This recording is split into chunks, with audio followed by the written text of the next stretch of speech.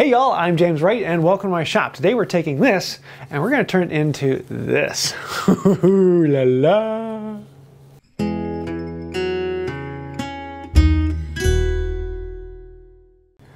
This iron here has seen better days, as well as the knob, the tote, the body, and we're going to be doing an over-the-top rebuild of this thing with a couple other channels.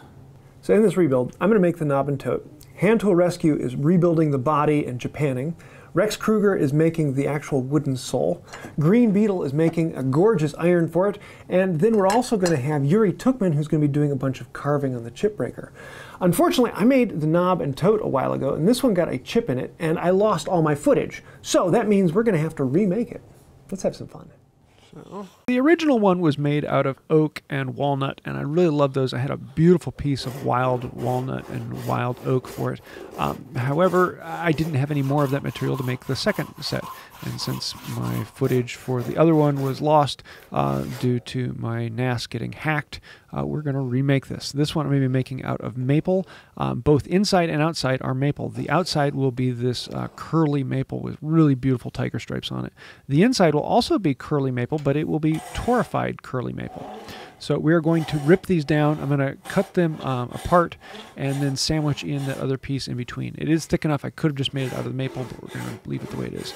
I'm also going to be cutting the grain on this in the wrong direction, technically, um, but it, it isn't a huge issue if you cut the direction on the plain tote wrong as long as you know which direction it's going. So it's kind of one of those things you just got to, to think about. Um, but we're going to be uh, having uh, this for show, and the tiger stripes will really show up far better running in the other direction. So um, one of those choices we just decided to make on this one. So if you really want it going the correct direction, uh, the winner of this plane will actually be getting both totes, um, so you can choose which one you want, and that one actually goes in the correct direction. You can't see me right now, but I'm doing air quotes. So we're going to glue these together, sandwich them down, and then set them aside. You don't need a crazy amount of clamping strength for this, uh, but I do want to um, squeeze out the excess so I get a, a, good natural bond between them. But with epoxy, you don't need to crazy squeeze them down as you do with uh, PVA. So we're going to let this sit overnight and then come back to it. And this will be more than enough to get the knob and tote out of it. And I've got another project. I made this one a little bit bigger so I can pull that out of it. So I'm spacing out how much material do I actually need uh, for these pieces in here. And I figured, nah, that's about right. For the uh, the handle portion, the tote, we're just going to cut that off and start working on it from there. Uh, most of the time, I would try and keep the block in length, and I decided to um, cut off for the knob, but then later I decided I actually want to keep length on the board, so I'm going to use the other piece that I cut off to turn into the knob. Uh, you'll see that when we get there. We want to get a nice clean surface on this and reference it down. The other thing I'm going to do is I'm going to plane down the sides until they're the same thickness away from the middle. Uh, that way I have the same amount of maple on both sides of the maple. Uh, this makes it so when I center it out, it looks like it's running down the middle. Uh, it's just better to take care of right now. And I need to take off a decent amount of material down this. I'm gonna, I want the, the final thickness of it to be about 7 eighths of an inch. Some people like it to be a little bit fatter. Some people like to be a little thinner. Um, it's usually between 3 quarter and 1 inch that the, the tote thickness is. And I like mine to be about 7 eighths, right down the middle. So I'm going to be cutting it a little bit oversized, and then we will come back in and plane it down nice and smooth. And uh, that is the blank I'm going to be pulling it out of.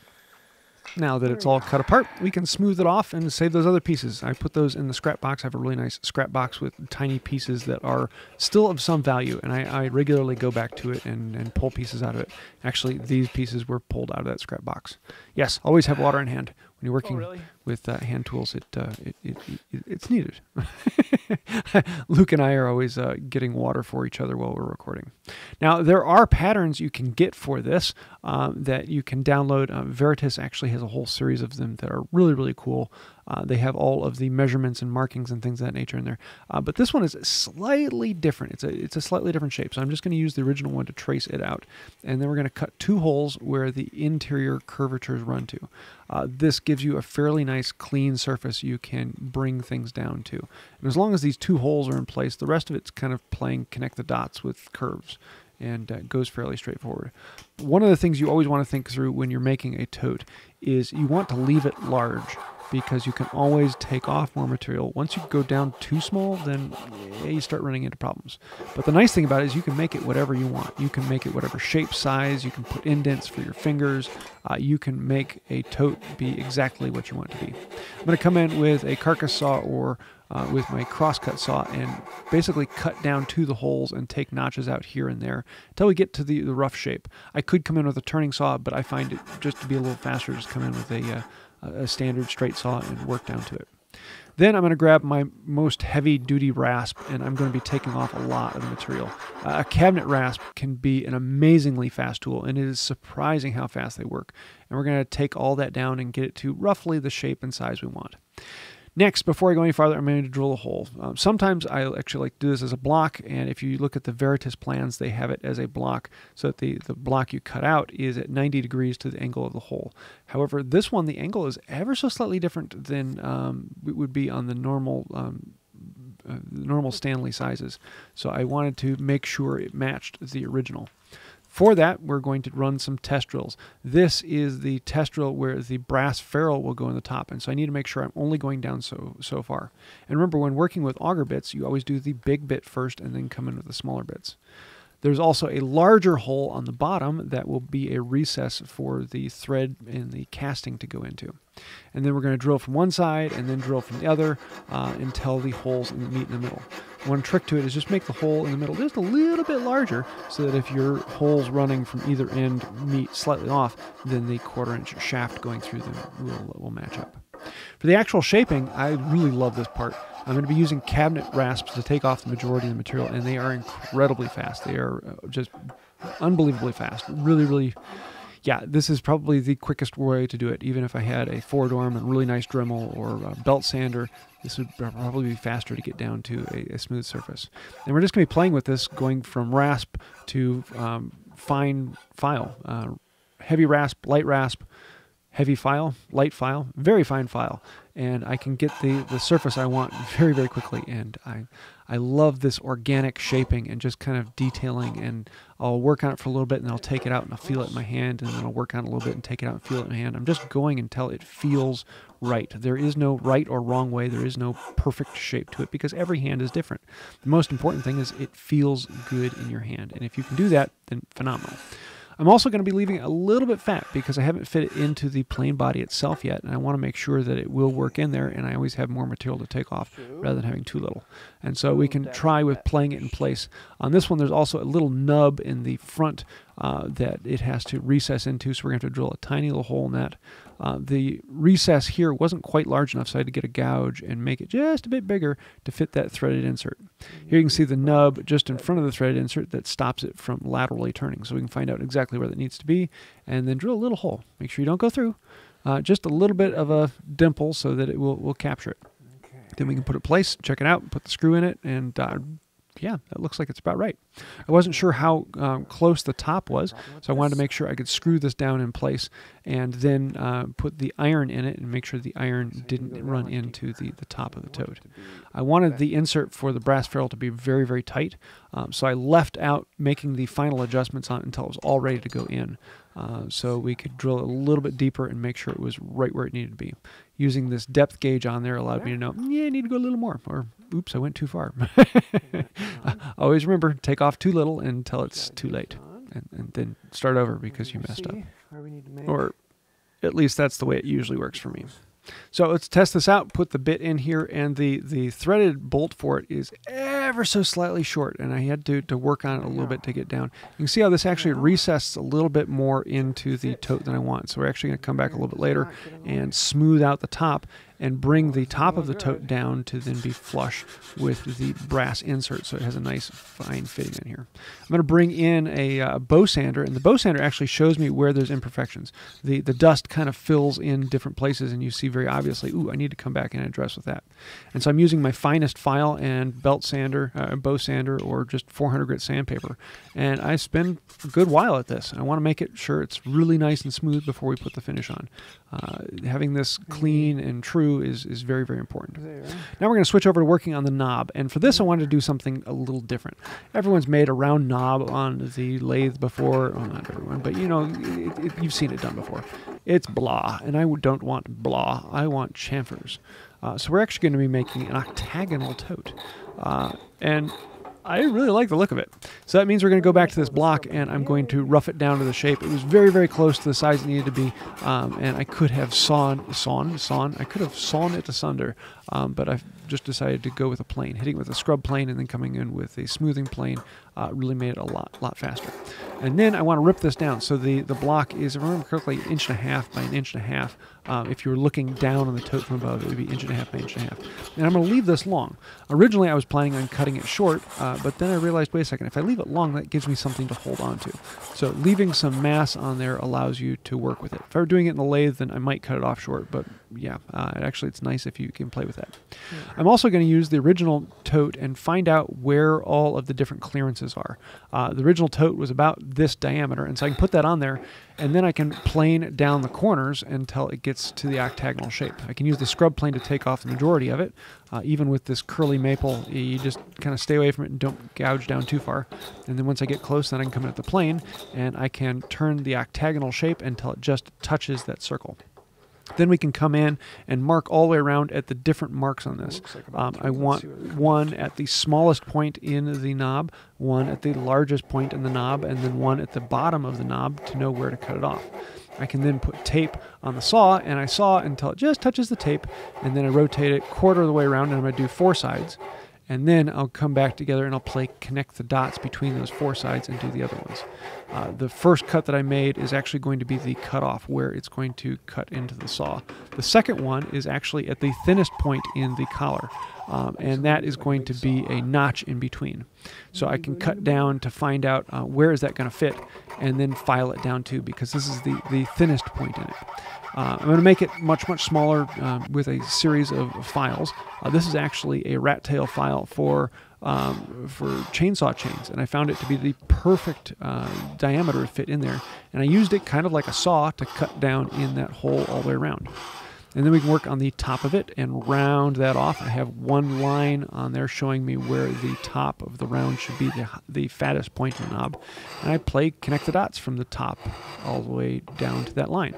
And I'm going to do this rather than doing each side individually. I prefer to do every other side and make a square and then come back and make the sides in between match. And I find that to be a very easy way of making the octagon work out. If I do one at a time, it just runs into a few problems. Then the last step is connecting the smallest point on the knob up to that rounded section. And this I'm going to be doing with a, a, heavy rasp to get the majority off, and then I'll come back in with a smaller rasp and a smaller file, and then once we get to here, it's about the right shape. Uh, we're just going to slowly detail this down. And here it's very, very close, and everything else is basically going to be done by hand. Uh, there, one last thing is I need to cut off uh, the lip around the outside and make that octagonal well. And then I realized, eh, before I go, let's actually uh, let's cut this hole. So we are going to hmm. bore this from one side to the other, and my hole was ever so slightly off. Oops! Um, so I had to come back in and ream that out with the uh, rat tail file and get it centered back up. We're going to chamfer the, the top corner and bevel that down so that the, the flathead screw will fit into it. And then we can come back to that circle we drew and octagonalize the bottom. And I like to do this with the, the chisel. I could have done it with the, the rasp and file, um, but I like working with a chisel. Um, plus, in this case, you also notice we are working uh, a cross grain, and so the curls come off in these weird chunky sizes. Once we get them down close their size, then I can come in with the file and do the last little bit, taking it right up to the line and making it sweet. And after this point, it's all about fit and finish, making it feel nice. And honestly, the octagonal knob feels really nice. Uh, I was very surprised by its its comfort. Yeah, I want to put it together and make sure everything looks good and fits in there right and then it's the the final details on it. And i'm going to be going over it all one more time with the finest file and detailing them down smooth. Any last lines and marks on them i'm going to be getting rid of those and spend a good bit of time on this until we're ready for finish Um, use a 400 grit sanding block, and that fills in pores and, and bits left from the, the, the file and then I can come in with the finest file and clean those out. The sanding block shows me where I need to detail, but the last thing that's going to be touching it is the the finest file, uh, except for right before finish because I'm going to be putting oil in this. Um, I'm actually going to hit it with some 400 grit sandpaper, just very very lightly, and let that dust put into the pores. Um, having the dust uh, on the the surface will actually pull the finish down a little bit deeper. Um, it gives you a better contrast, and the contrast is really what you want uh, with these as they have uh, the, the, the, tiger striping on there. You want to see that, that difference between areas that have pulled more down and less. If you're working with a smooth surface of maple and you don't want that blotchiness, do not sand it. The best thing you can do is plane it. That way it's not going to be pulled down differently in different spots. And then we can put the boiled linseed oil on here and it goes pop. Oh, yes. Uh, I, I was just happy. The, the tiger striping on this just came out beautifully. And then the, the, the coloring in that darker stripe I really, really liked how these came out. Just really, really cool. I'm going to let that soak up as much as it wants, and then I'm going to apply some paste wax and rub that in and just cake that on there. Uh, let the paste wax sit and then polish it off. And that gives me a really nice matte finish that I, I, I'm, I very enjoy. Um, with that tiger striping on there, um, yeah, they're beautiful and they feel great in the hand. You can still feel the wood and the, the organic feeling on it is, is phenomenal. So now, um, yeah, there's the plane, and you can see all the other things that everyone has done on this. The, it is just uh, uh, wow, beautiful, beautiful plane. The only question is, does does this thing actually take a shaving? Is it actually a functional plane? Well, after all the work from all of us, let's take it for a drive. And sure enough, she pulls curls, and she pulls really nice curls. Um, very pleasing and a lot of fun, but even more fun to look at because, man, that thing is pretty. But yes, curls. This is happy.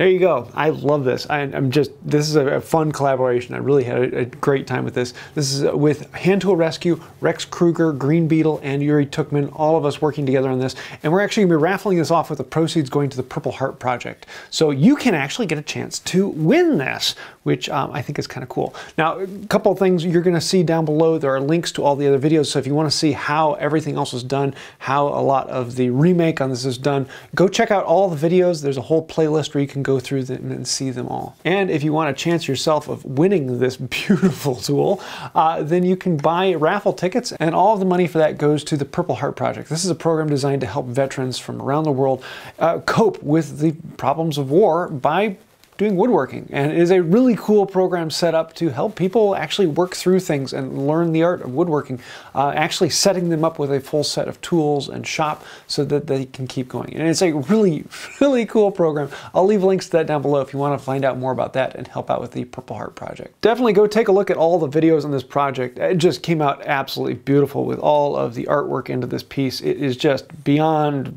cool. I absolutely love this. The winner will get this plane as it currently is, as well as all of the original parts that we took off of it and redid, uh, as well as my first set of knob and tote, and the second set then since I finally got the video footage for it. So uh, yeah, you're actually getting quite a bit with this. So if you want to have a chance to win that, then get a raffle ticket and help out the Purple Heart Project, as well as look at all the videos and how this is done. Lots of going on here. On top of all that, I want to say a huge thank you to everyone who comments down below. Yes, just putting a comment, question, snide remark even. Thank you, that helps out the channel. Uh, anytime you actually put a comment down there, it's worth about 10 likes, which thank you for hitting the like button and all those things. It helps us get in front of more people. Uh, really, uh, the Google algorithm is king, and so we're kind of all slave to that around here. But if you want to help out even farther and uh, take us even more, then think about becoming a patron. All these people over here, they are patrons on Patreon.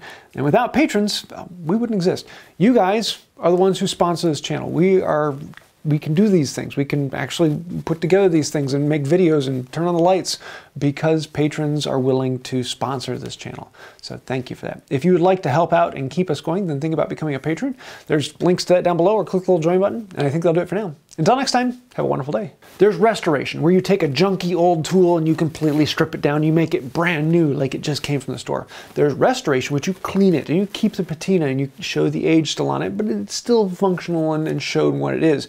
And then there's this, which is like uh, sexification. Oh, la la, is he so pretty? Mm -hmm.